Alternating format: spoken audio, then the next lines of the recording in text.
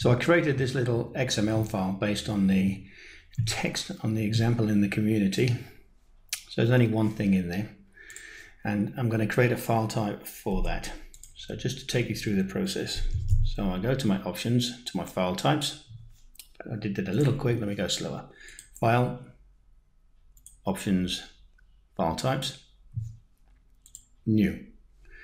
I'm going to use the embedded content because this will give me the ability to use the HTML filter rather than have to create regular expression bools, which you have to do with this one.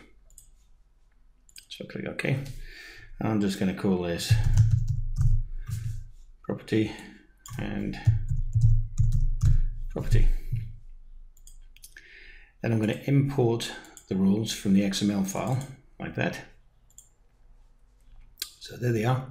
I'm not going to bother editing them. It's a fairly straightforward and simple tool, simple um, file.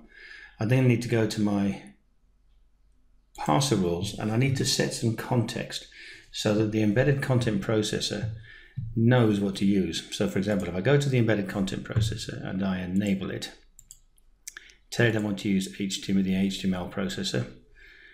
It's not a CDATA section, so I need to give it some document structure.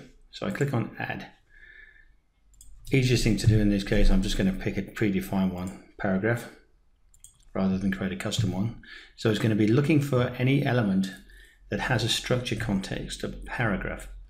So then I go back to my parser rule, property element is the one I want, and I edit that. Down here you see structure info. I edit that and add a new property. In this case, the one I'm going to take, to make it simple, this paragraph, then everything's filled in already for me. You can create your own. And click on OK and OK. And now I've got paragraph context there. So that paragraph matches what the embedded content is looking for. And I click OK. So now when I open that file, any old language just to test it, perfect. Opens it all up, uses the HTML processor to tag it up exactly what you need to do. So pretty straightforward.